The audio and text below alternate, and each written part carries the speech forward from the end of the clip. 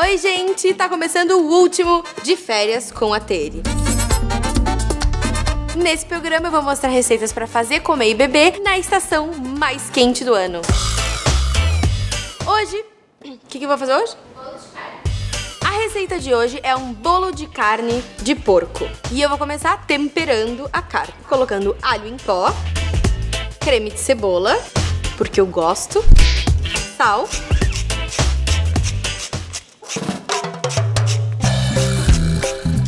Organização Mundial da Saúde estabelece que devemos ingerir no máximo 5 gramas de sal por dia. Mas esse sal não salga. Pimenta do reino, salsinha,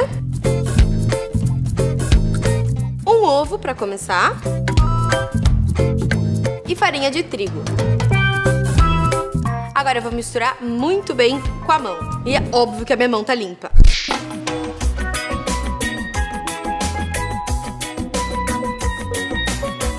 Abrir essa carne, porque ela é recheada, eu esqueci de falar, eu vou usar um plástico filme para auxiliar. Vai facilitar na hora de enrolar.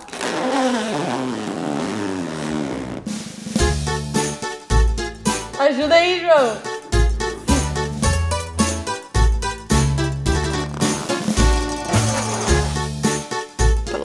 passar um óleozinho na mão, né, pra não grudar. Aí eu vou abrir com a palma da mão, num formato retangular. E tenta deixar o mais fino possível.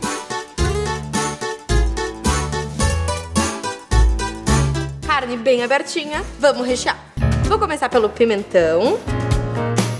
No sentido do comprimento, tá? Senão vai ser impossível de enrolar. Espinafre. Tá. Cogumelo queijo mussarela e bacon em fatia. Acomoda tudo muito bem. Lembra também de deixar uma bordinha aqui e aqui, nas laterais. Vamos começar a enrolar!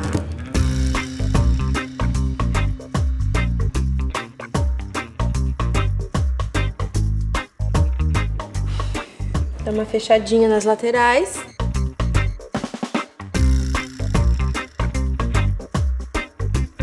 Agora eu vou transferir isso para uma folha de alumínio, enrolar e levar para a churrasqueira. Tirei o plástico, obviamente, agora tá no alumínio. Eu vou fechar bem.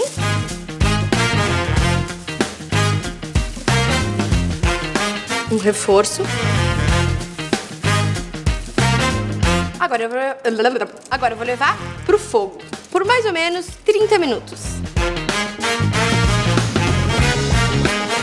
Depois que passaram os 30 minutos, eu abro, mas sem tirar o papel alumínio completamente e pincelo com geleia de pimenta. E eu vou repetir esse processo algumas vezes até a carne pegar um pouco de cor.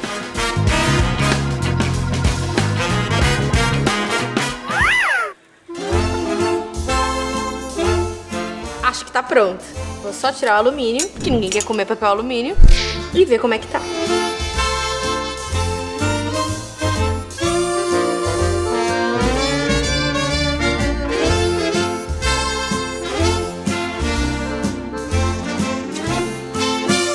Agora chegou a hora da verdade.